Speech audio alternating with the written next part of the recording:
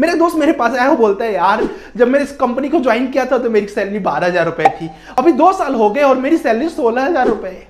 मैं सोलह हज़ार रुपए में किस तरह से अपने काम को करूँ? सोलह हज़ार रुपए में खर्चा कैसे चलेगा मेरा? उस कंपनी को समझ में नहीं आ रहा है कि मुझे शादी करनी है, मुझे ये करना है, मुझे वो करना है, मेरे भी ड्रीम्स है बाइक लेनी है तरह तरह की चीज़ें हैं।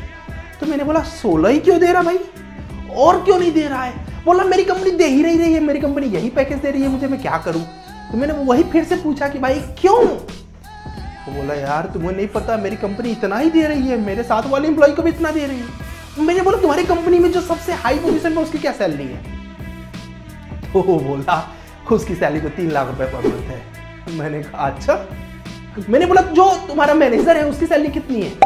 बोला, यार, उसकी सैलरी साढ़े हज़ार रुपए मैंने बोला, तुम्हारा जो टीम लीडर है, उसकी सैलरी कितनी है? तो बोलता है तीस हज़ार रुपए तो फिर मैंने कहा, समझ में आया? तो बोलता, नहीं।